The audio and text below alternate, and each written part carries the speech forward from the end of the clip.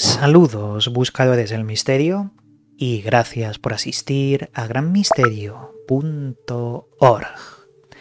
Ahora mismo es una noticia internacional. Está al rojo vivo todo el mundo hablando de lo sucedido. Parece ser que hace unas pocas horas el expresidente de los Estados Unidos, Donald Trump, le han disparado y le han herido en la oreja. Todo esto mientras estaba eh, de campaña electoral en Pensilvania él estaba hablando, estaba haciendo su meeting eh, al aire libre con un montón de personas y de repente se escuchan unos disparos, se toca la oreja, empieza a sangrar, se tira al suelo y todos los guardaespaldas lo protegen para salvar su vida. En ese momento, la policía militar y los francotiradores militares que estaban en los tejados detectan al sospechoso y le disparan. Dicen que el sospechoso era otro francotirador que estaba esperando en un tejado y lo han, bueno, lo han neutralizado. Claro, la información que ahora mismo está circulando por la red es muy dispar, muy diversa, se dicen muchas cosas, también hay una parte de fakes que están surgiendo. Por eso os pido que lo que os estoy diciendo hoy en este vídeo lo toméis con cautela, porque dentro de, unas, de unos días surgirá nueva información, nuevos datos y quizás este vídeo de hoy, pues bueno, le falten esos datos. Así que tomarlo con cautela lo que yo os estoy diciendo hoy, ya que es una nota informativa de lo que ha ocurrido y ya haremos un vídeo dentro de una semana o dos de todo lo ocurrido, pero bien, ya que era mi deber informaros, ya que detrás de todo esto hay un enorme misterio, como siempre hemos visto. ¿Recordáis aquellos libros llamados The Last President del señor Ingerson Lockwood, escritos en 1900, en el año 1900, que nos relataban las historias de un hombre llamado Baron Trump, que curiosamente es el nombre del hijo de Trump, y daba una serie de simbología que era imposible de que una persona en 1900 supiera sobre lo que ocurriría en el futuro, que hace referencia a Trump. Hicimos un vídeo de estos y ojo, es uno de los vídeos que más te pueden dejar pensar de mi canal. Claro, con esto intentaba deciros de que hay mucho extraño detrás de la figura del señor Trump. Pero bueno, volviendo al acontecimiento, es lo que ha ocurrido. Le han disparado, parece ser que se ha salvado, le han herido en la oreja. Y fijaos, esto es una curiosidad muy grande. Hay una persona llamada, eh, lo tengo por aquí, Doug Miles, ex miembro del gabinete de prensa de la Casa Blanca, que sacó una fotografía de la trayectoria de la bala que iba hacia Trump y la ha publicado en sus redes sociales. ¿Cómo puede ser esto? Que alguien con esa precisión pueda capturar la trayectoria de la bala. ¿Cómo puede ocurrir algo así? Me parece muy, muy sospechoso. Pero, como os digo, tomar todo esto con cautela. ¿Qué ha ocurrido? Pues se dice que en una de las varias teorías, que eran dos tiradores, uno que estaba en el público y otro en el tejado. Y que, y esto parece ser que es cierto, han herido a Trump, pero también han herido a personas del público. Y una, dos de ellas están graves, heridos graves, ¿vale? Claro, porque había una teoría por ahí que decía que si eran balas de Airsoft, y que todo estaba planeado. No tiene sentido porque ¿qué es lo que ganaría Trump? Si ya tiene las elecciones ganadas, se lo ha dejado el señor Joe Biden en bandeja. ¿Qué pasaría? ¿Mm?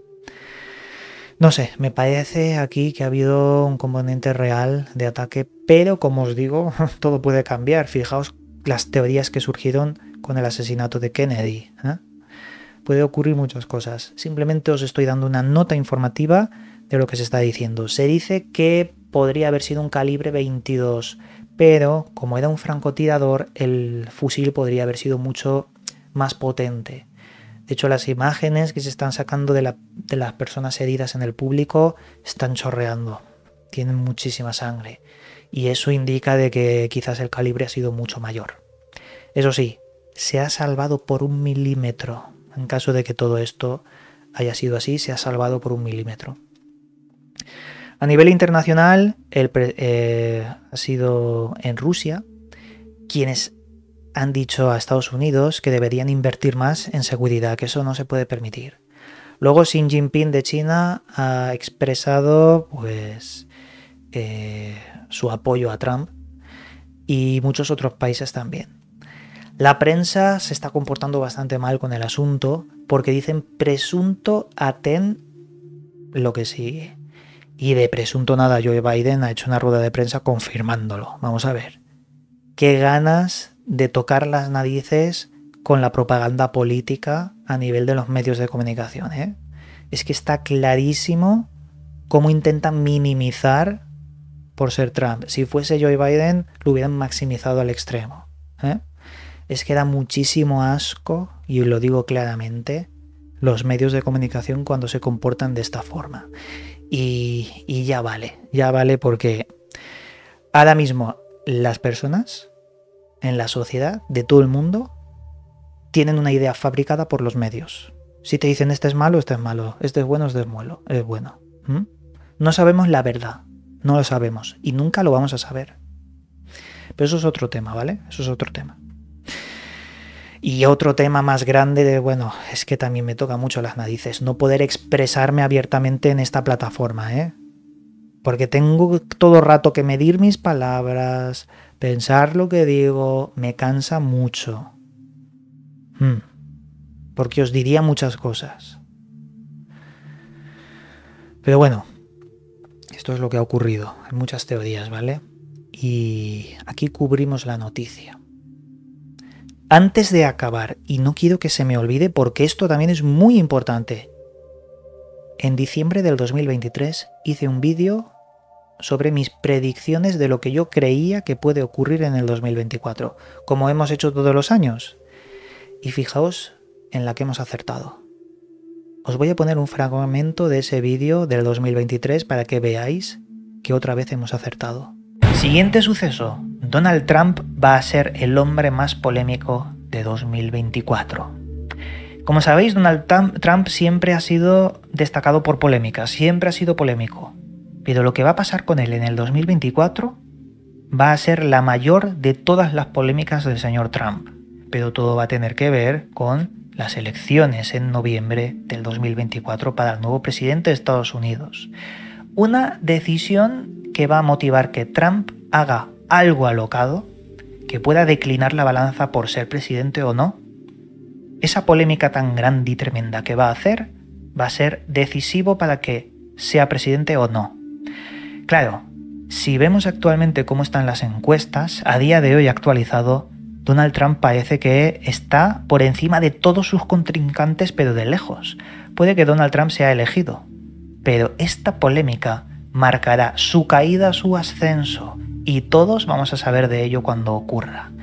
Puede que tenga que ver con una serie de sucesos ya mm, de este año, 2023, que lo relacionan con la pérdida de su inmunidad presidencial ante una serie de acusaciones que ha sufrido. Pero mm, no sé por qué creo que tiene un asa en la manga que va a destapar en 2024 y que nos vamos a quedar todos con la boca abierta. Claro, en este vídeo mm, yo incidía en que era algo más, porque Trump siempre ha sido polémico, pero en ese vídeo yo intentaba transmitir que era algo más, que iba a ser el hombre más polémico del 2024. Y esto va a tener muchas consecuencias. Esto va a ser muchísimo más polémico dentro de unos días. Se está diciendo como información de última hora que la persona que ha disparado se llama Thomas Crocs, un joven de 20 años. Es lo que se está diciendo. Ya veremos si es realmente. Dicho esto, vamos a dejar aquí el vídeo por hoy. Ya os digo, dentro de unas semanas haremos un segundo análisis muchísimo más completo. Esto es una nota informativa para que vosotros, pues bueno, sepáis lo que está ocurriendo más o menos eh, ahora mismo. Con esto dicho, ahora sí, aquí me despido, os mando un cálido abrazo y nos volveremos a ver en otro vídeo. Llegamos al final del programa. Puedes seguirme en mis otros dos canales donde también subo información sobre misterios y enigmas. A su vez, también puedes seguirme en las redes sociales donde actualizo cada día su contenido. Que las estrellas guíen vuestro camino. Hasta pronto amigos.